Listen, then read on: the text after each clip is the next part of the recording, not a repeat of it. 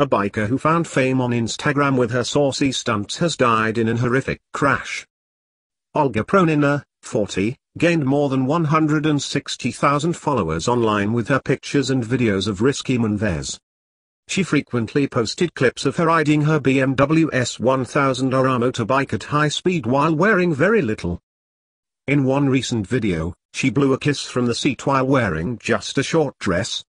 Olga died after her bike left the road and hit a fence, smashing into two pieces, police in Russia said.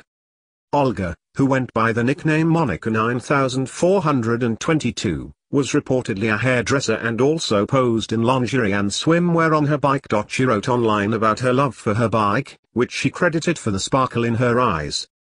Monica wrote, I love it because it forgives me my foolishness, for saving my sorry ass, thank you for never failing me, for making my lonely nights better, for helping me to forget troubles of my life, for training my body and my brain.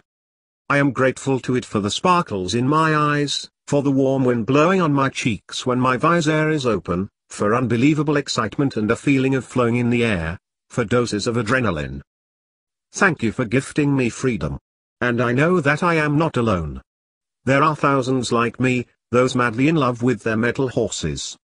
Olga is believed to have been mother to a 16-year-old daughter.